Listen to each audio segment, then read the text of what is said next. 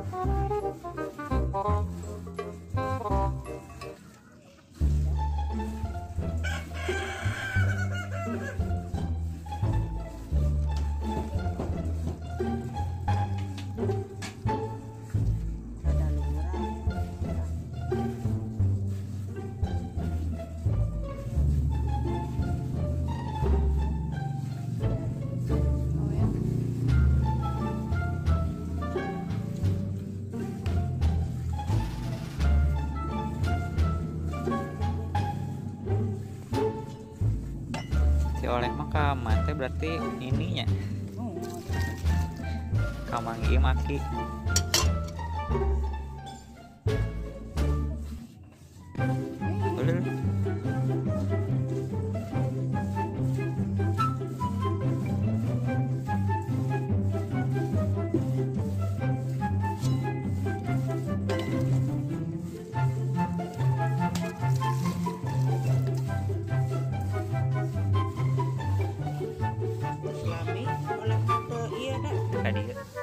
dia anu ka dia teh eta wae nah Yuni ini nu istri teh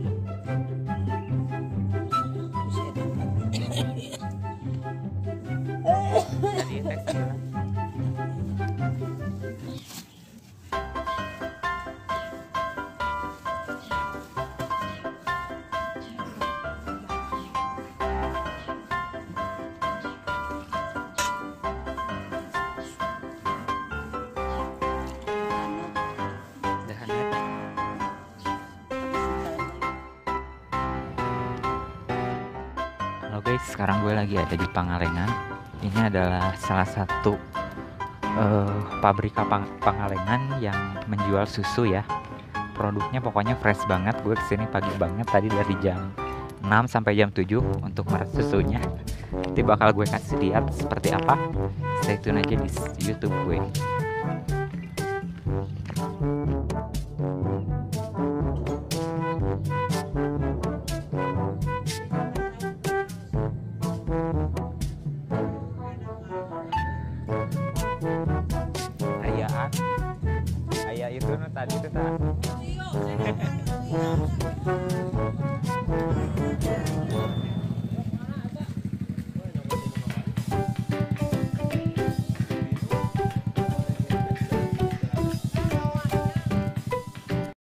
Teman-teman, kembali lagi di channel YouTube saya Juanda Mambla. Kali ini saya akan menikmati susu murni KPBS Pangalengan, hasil dari peternakan sapi Bandung Selatan. Pangel- Pangalengan dikenal dengan alamnya yang indah dan juga sebagai penghasil susu murni dari sapi yang berkualitas baik. Ini terbukti dengan banyaknya peternakan yang dikelola oleh penduduk Kecamatan Pangalengan dan sekitarnya ya. Saya baru saja nyubuh mengejar sunrise di perkebunan teh cukul Pangalengan. Cerita bagaimana serunya perjalanan saya mengejar matahari terbit bisa kalian lihat nanti di vlog saya selanjutnya. Saat perjalanan ber- berangkat dan pulang, eh, saya melewati kota Pangalengan sejak awal. Saya memang berencana untuk mencari hal-hal yang mencari mencari ciri khas dari kota ini. Salah satunya produk eh, Pangalengan yaitu berbahan baku susu murni. Nah, inilah sekelumit cerita perjalanan saya. Semoga sering ini bisa menjadi informasi berguna buat teman-teman ya. Mengenal KPBS Pangalengan, KPBS atau Koperasi Peternakan Bandung Selatan Pangalengan ini berfungsi sebagai pengumpul, pengolah, dan pengemas susu murni. Hasil panen para peternak sapi menjadi produk-produk lanjutan berbahan susu yang beragam. Selain itu, KPBS Pangalengan juga memudahkan para peternak sapi dalam menyalurkan dan menjual susu murni yang dihasilkan oleh sapi-sapi mereka dari ke daerah-daerah luar Pangalengan.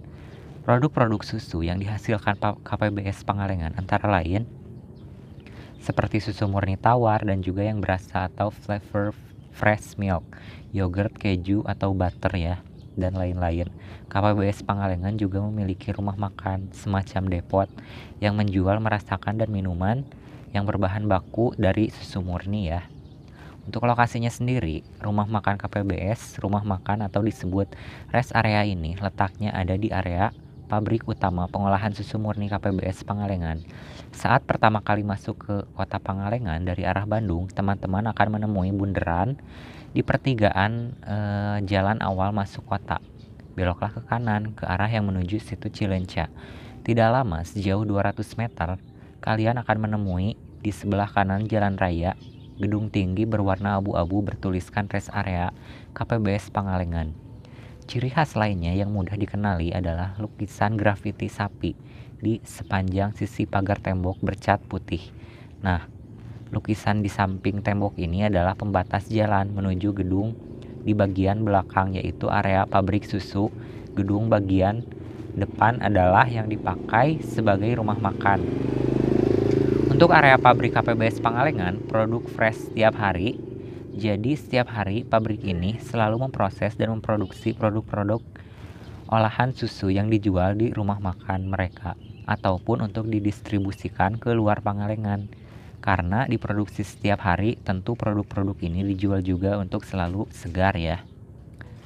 Lalu untuk produk susu yang rutin dijual seperti susu segar tawar yang dikemas dalam bentuk botol, ada yang 500 ml, ada yang 1000 ml, atau kemasan plastik untuk yogurt waktu kami berkunjung ke sana dijual dalam kemasan botol kecil yaitu 250 ml saja. Tapi setahu saya juga ada yang dikemas dengan botol yang lebih besar yaitu 500 ml dan 1000 ml. Kami saya sempat e, mencoba tiga rasa yogurt yang dijual yaitu leci, strawberry dan anggur.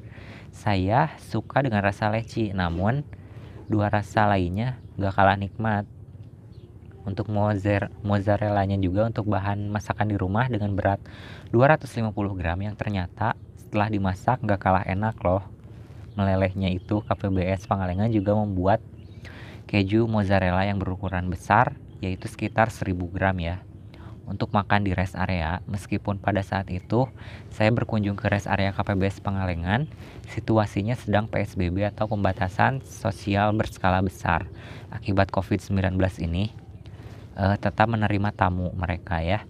Makan di tempat gedung rumah makan berlantai dua, di mana lantai dasarnya diisi meja dan kursi yang menurut saya jaraknya cukup aman untuk bersosial distancing ya. Sementara untuk lantai dua, menurut staf rumah makan bisa digunakan untuk acara-acara besar seperti meeting kantor, acara khusus keluarga dan sebagainya ya. Untuk lantai duanya rest area, KPBS Pangalengan ini menunya yang ditawarkan sangat beragam ya. Pada buku menu yang disediakan di meja, saya melihat ada menu mana masakan Indonesia seperti ayam penyet, sop buntut, mie, mie baso isi keju, dan nasi timbal ayam, sampai menu fast food seperti nugget mozzarella, lumpia, keju mozzarella, roti bakar, dan sebagainya. Yang pasti mereka juga menjual produk-produk susu dan yogurt KPBS Pangalengan eh, sebagai beverage dan juga beragam minuman segar dan hangat. Dari segi harga, Harga makanan dan minuman juga sangat terjangkau. Range-nya harga makanan seingat saya dari kisaran 10.000 hingga 40.000 rupiah saja ya.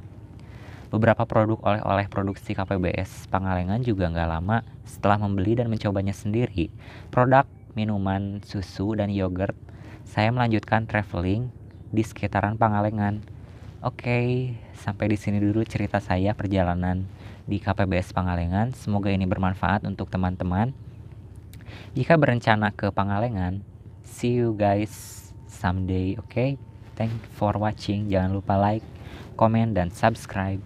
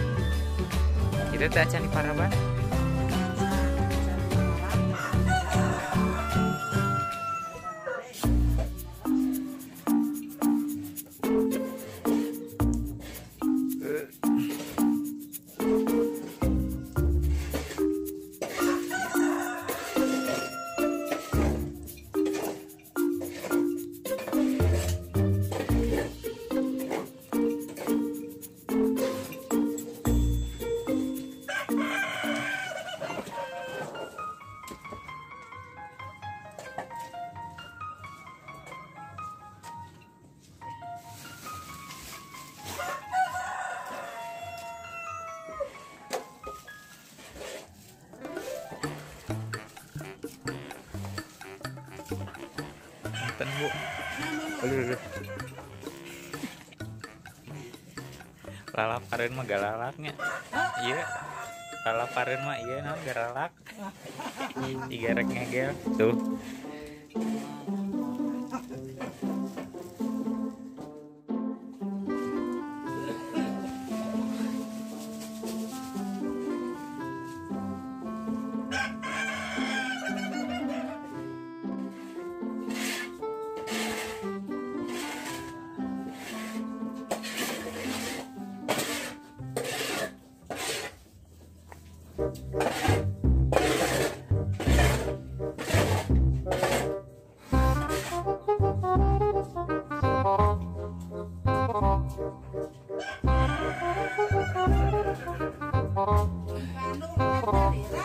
Nyarira.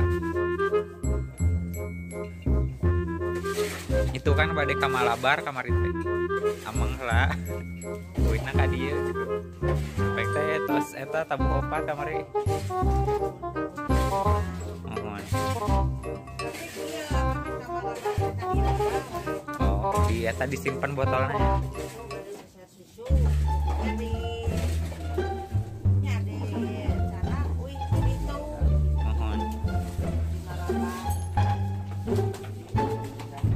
Ayo teh sakandang teh sabri sabra leterin si Suna.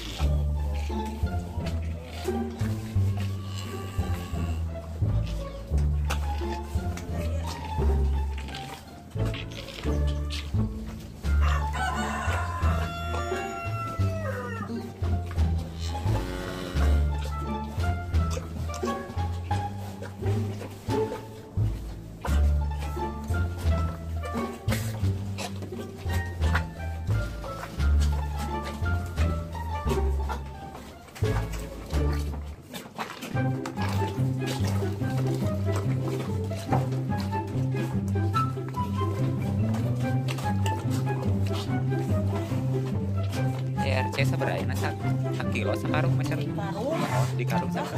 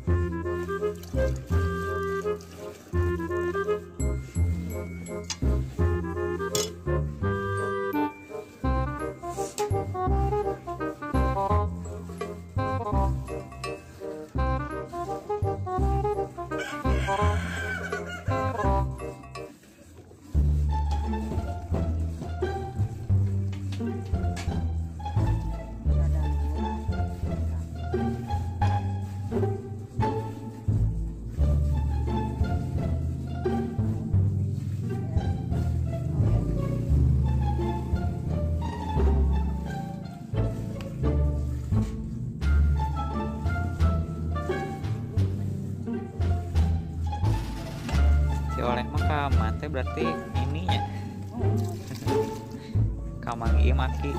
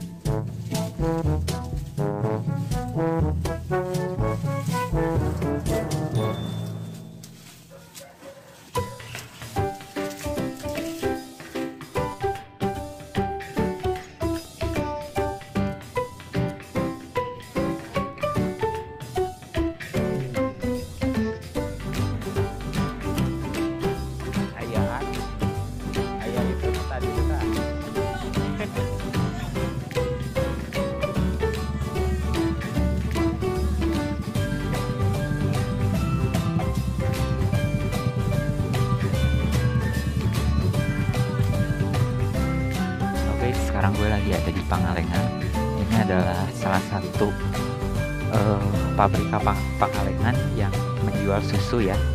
Produknya pokoknya fresh banget. Gue ke sini pagi banget tadi dari jam 6 sampai jam 7 untuk merek susunya.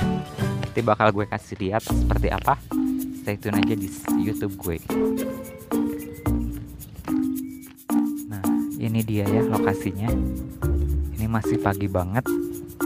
Namanya pohon ubi ya guys. Panennya tuh sekitar dua bulanan.